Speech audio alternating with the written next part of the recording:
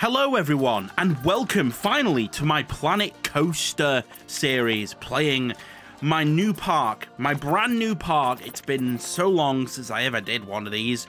I think my last Planet Coaster video was back in 2016, so how long ago is that?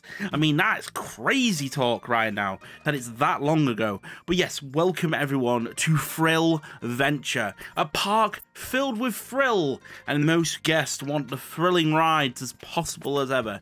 Join me on a journey of great, great adventure where we build the most thrilling and entertaining rides, with a few family rides in there and of course flat rides. But we're not just going to be doing just a park, right? We're going to be making it a little bit more interesting by also incorporating a little bit of a challenge. I have got money on, so I do have to worry about finance and staff and other things like that, which will get in the way quite a bit during this experience which is going to be really fun. So if you don't know what's going on, you can already see what's going on. I'm building an entrance, aren't I, out of wood. Well, we're in a forest. Why would we not build out of wood? We are in a forest. It was always going to happen that we were going to build mostly out of wood, considering we're using trees, making wood, and this is going to be a realistic theme park. So, of course, that would be the the ideal thing. But yeah, guys, we're going to be doing this moving forward, and it's going to be released every single Wednesday. It's going to be a weekly series. It replaces what City Skylines used to be, which I feel like I will be bringing Skylines back at some point when they get their shit in order, because right now, playing Skylines is just not fun. You can't do what I'm doing right here, detailing buildings up, building cool buildings, you know, detailing the grass and all that. I know I'm just placing planks at the moment, but you know what I mean. It's it's a great it's a great game, Planet Coaster, and I I've been putting off doing this for a while because it normally lags. And well, for once, I actually have a decent computer to actually do this series. I don't know when we're literally going to play it until the part lags. I feel like that's how Planet Coaster goes. As soon as the plot, as soon as the part lags, it's like, well, that's it. That's all we're doing because we can't put any more in. Because if we try and put any more in, we will just um, lag out the game, and then it won't be fun or playable. So all I'm doing right now, guys, is building a wooden entrance. It's um, it, I'm just laying out the foundation right now. It's looking pretty nice. Uh, as you can see, pretty much, you can clearly see on screen this is what's happening right now. But yeah, guys, you um you voted for this. You asked for a Planet Coaster series. I I put the poll down and people wanted it. It was a landslide actually. No one said no. So I'm hoping this does well. I really am because I really love theme parks. I really love going to theme parks. I really love riding roller coasters. And it is nice that you can bring it to life in Planet Coaster. And, you know, Planet Coaster is not the best game. Like I said, there's a lot of lag in it. You, you, They really do need to make it and sort out, that really need to optimize it because building big parks in this game is just too much hassle. It's not fun just... You, I mean, I've got a very good computer now. It's nearly supercomputer, almost at that level. And it's like, it's pulling teeth. I mean, with my old computer, I had no chance, but at least I can get a medium semi-sized park now to actually, you know, do this. Do this series, because that's what I was waiting for, waiting for, to actually be able to do this series. So if you're looking what I'm doing right now, guys, I mean, I don't really need to explain it, you can see it, but basically I'm building an entrance, and I'm now bringing a little bit of detail to life, like actually getting a nice little bit of wood pillars down, and we're still placing the foundation always, of course, but there are there are some nice little features. I'm, I'm trying to think about detail here, but I've got to be careful on money as well. I mean, what sort of lights will I be using? Going for lanterns because they're nice and simple. And they do look pretty nice. I do keep it quite basic, by the way, guys. I'm probably going to go back to this entrance at some point and, uh, you know, really do it up. But I do like the way it turned out um, for the first time. Getting into the more detail side now of this build. By the way, with the detail in this game, it can be very frustrating sometimes, especially if you don't make sure that your lines are straight, because if it's off by just even a centimeter, it will start to move slightly forward, outwards, and it can be really annoying to fix. And I'm having this problem putting these planks up right now. It's like it's like really trying to make sure that nothing is even out by a centimeter because it will cause a lot of problems. And we're going to have a little bit of detail now, a bit of bushes, you know. I'm thinking, you know, you make it a bit nice. I went for rocks in the end. Rocks. Big rocks. They do look quite nice on the entrance. Like I said, I'm keeping it quite simple for now. Oh no, I changed my mind. I didn't go for rocks actually in the end. I went for pillars to, you know, give a more thick feel to it actually. You gotta remember that this was like a week ago now since I built this, so there will be things I forgot about while what you know while uh, voiceovering this video.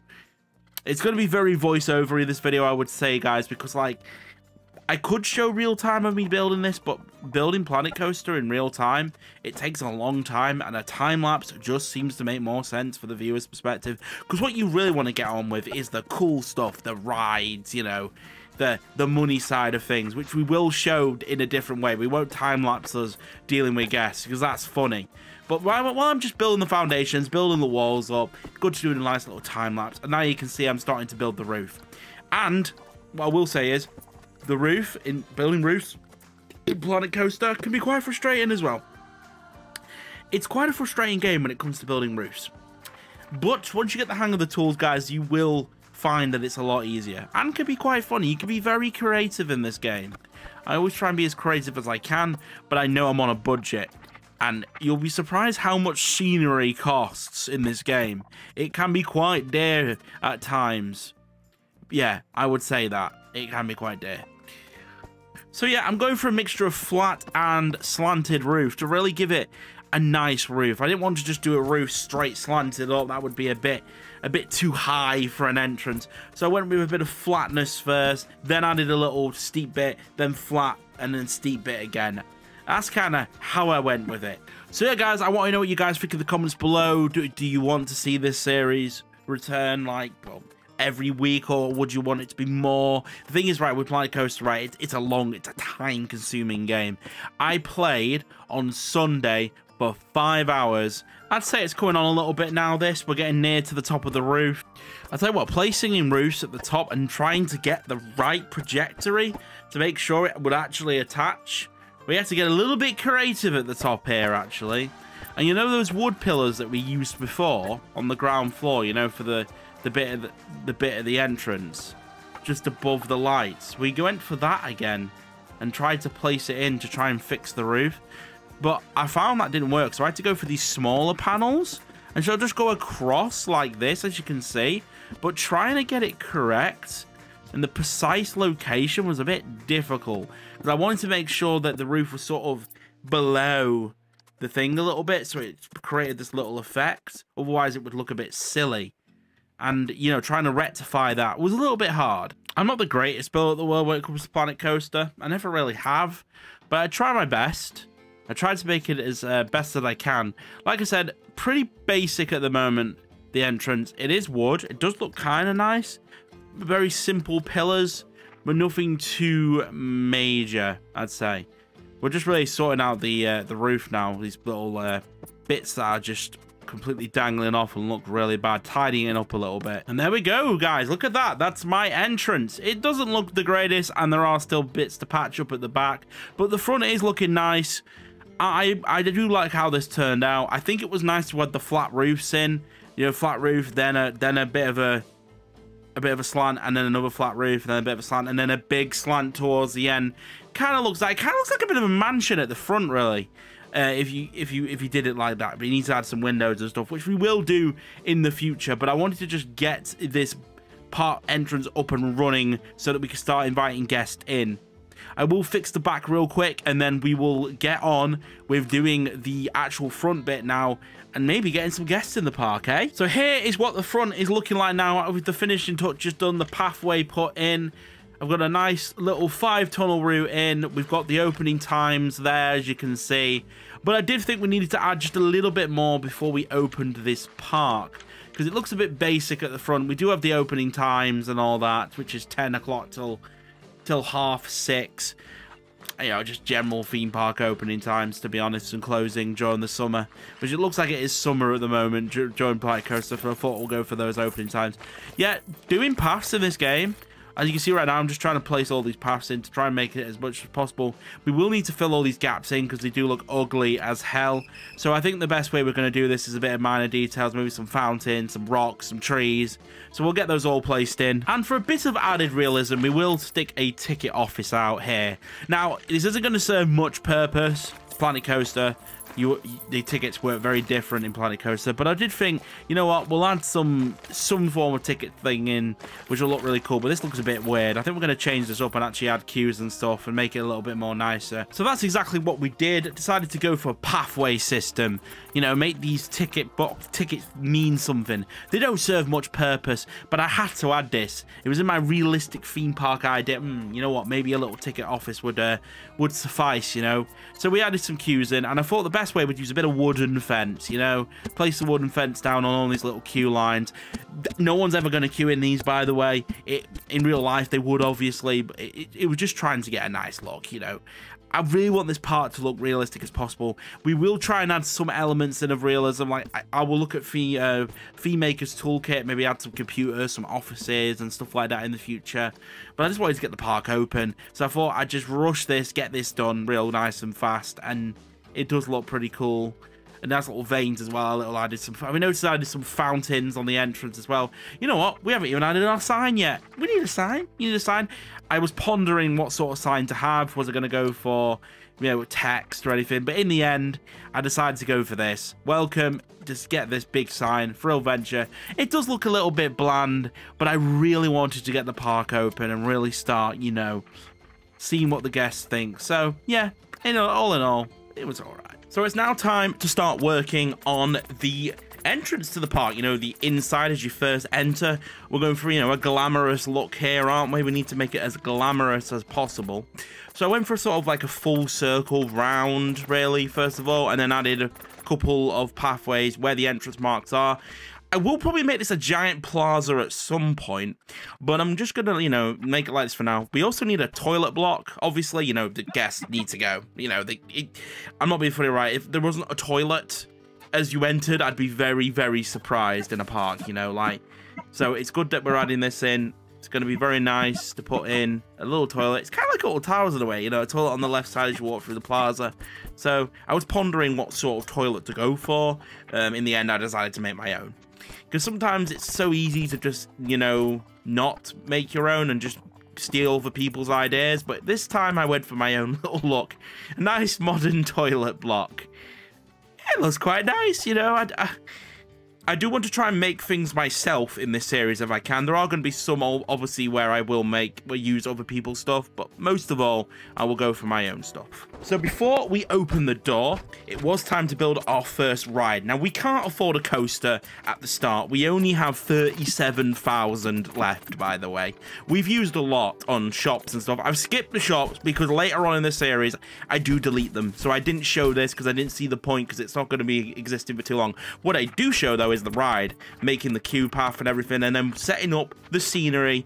Obviously, very simple for now, just rocks and trees. I basically just wanted to get the park open. When you don't have a lot of money, you can't really go into detail. The detailing comes later on in the series when you get money, because I, I, I'm the sort of person that has to play in survival mode. If I'm playing Minecraft, I have to play in survival mode, so I also have to play in money mode when I play a game. It's like City Skylines, I've got to be earning money or something. There's got to be some sort of challenge.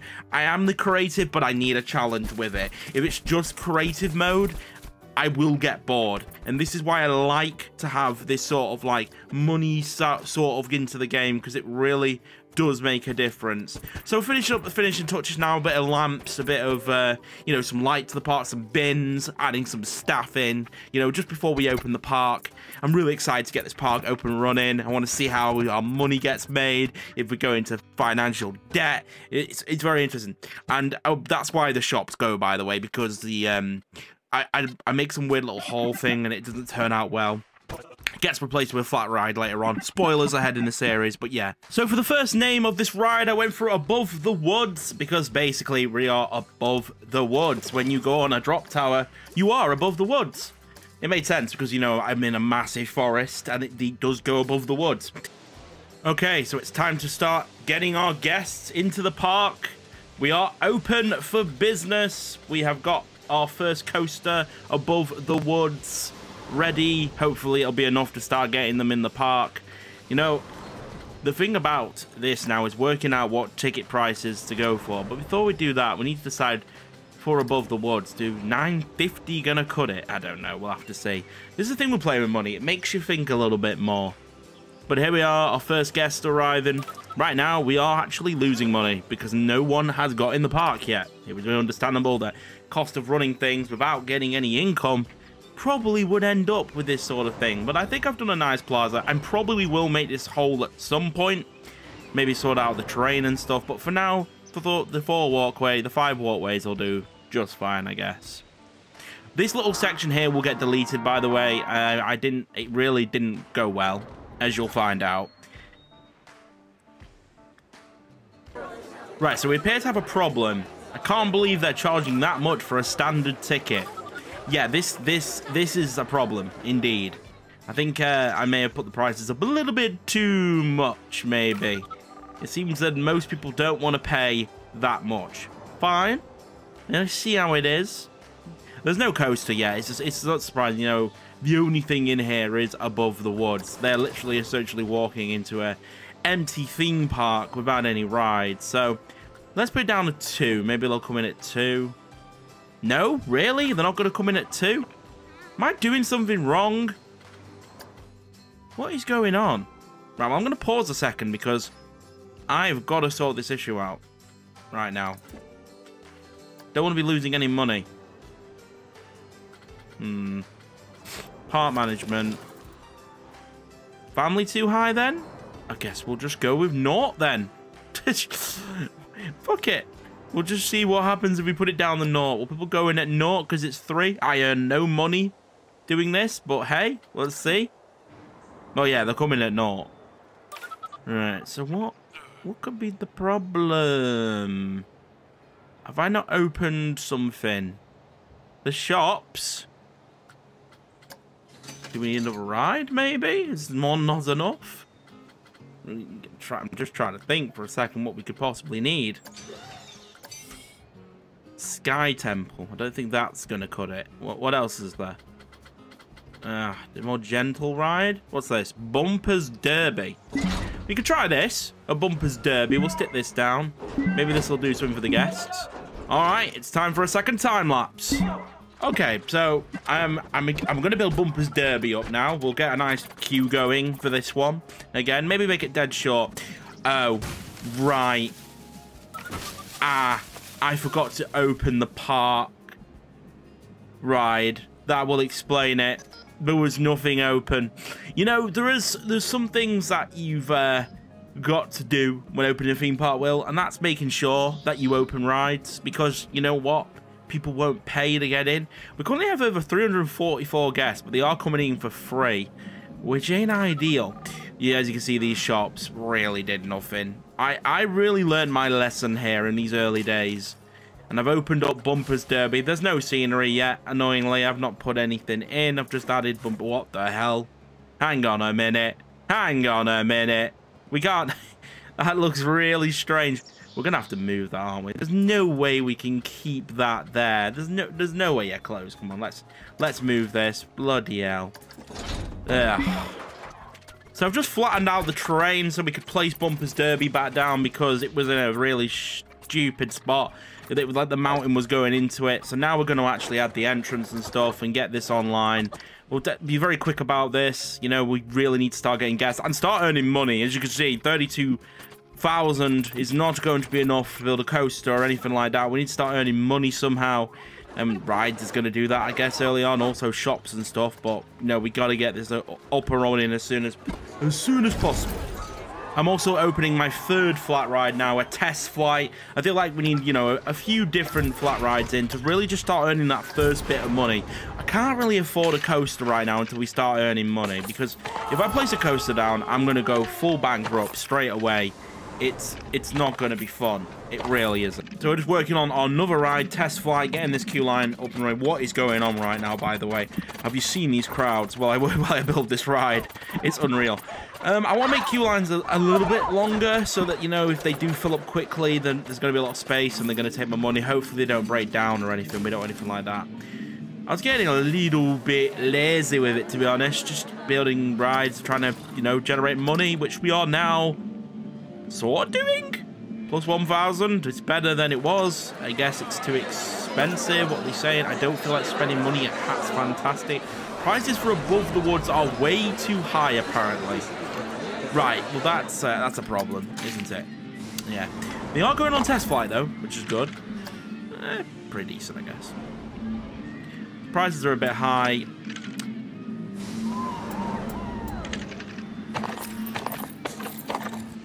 Yeah, I'm deciding to actually build path across. Maybe just because I'm just trying to sort this blob out right now. This blob is not fun at all to deal with. Yeah, they really do not like what's going on here. Too expensive. Oh, wait, it's a full queue. I don't think raising the price is going to help then. Yeah, we need to sort this blob problem out. There's 2,000 guests in the park. I don't know how there is. Oh, it's still free, the entrance, isn't it? Dodgeums has filled up, to be fair. Well, that's good. $30. Get that queue down. But you know what, guys? I think I'm going to conclude this episode. I think this was a good one. We got a good entrance started. Um, too many guests in the park. I'm going to figure this out because it's uh, it's a bit of a nightmare right now. And I guess next episode we'll build our first coaster. I don't know what I've decided. We'll have to wait and see on that one. Probably get rid of this terrible shop. Not gonna lie, this has not been working out at all. No one's buying anything. They're just obsessed with the rides. It's a bit of a mess right now, but it's episode one. Thank you so much for watching. If you did enjoy, remember to like rain, make sure to subscribe. And I hope you guys enjoy this series. A very every Wednesday series. Thanks for watching. See you in the next one. Bye for now.